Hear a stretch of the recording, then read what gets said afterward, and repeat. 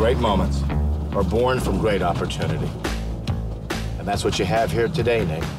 That's what you've earned here today. One meeting. What are, you, what, what are you doing? You giving me the really the Kurt Russell speech from the movie Miracle? It's applicable to what we're doing. I mean, it's not like I'm going to come up with something better than that. Who are we? B and V Engine Design. Nick, start your engine.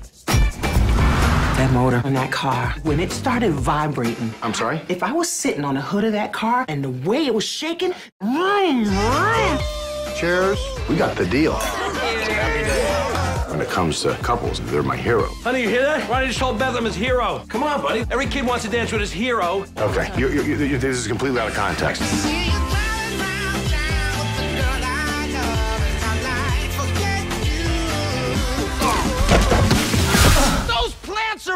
Are! Awesome. I just saw my best friend's wife with another man. How you like me now? Oh my God. You've got it, Tone. It's guy code, man. Hey, Ronnie. Where are you? I'm doing all different kinds of things now with all the, the nice people.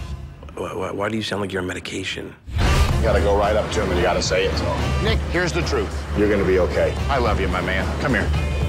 Why is that man hugging himself? Just keep walking. I saw it all, Geneva. I'm gonna tell him. I'm gonna deny it, and then I'm gonna say you made a pass at me. Ronnie, can I talk to you for a second? I was actually gonna run up here uh, for, for about, about the rest of the day. That there's something that I have to fix. Oh God. Hey, man. Oh God. You're not fixing anything.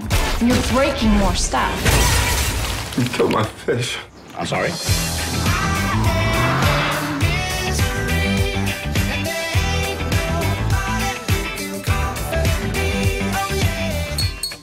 I like to make a toast.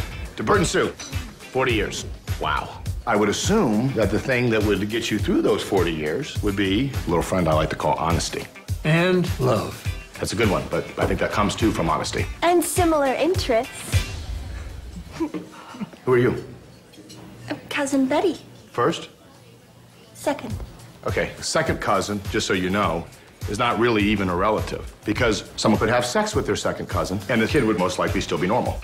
Honesty. You can't run from it because the truth will always find you. Burton Sue. I'm gonna tell your husband he's married to Helen Keller. Helen Keller? Yeah, the girl with all the personalities. Sybil.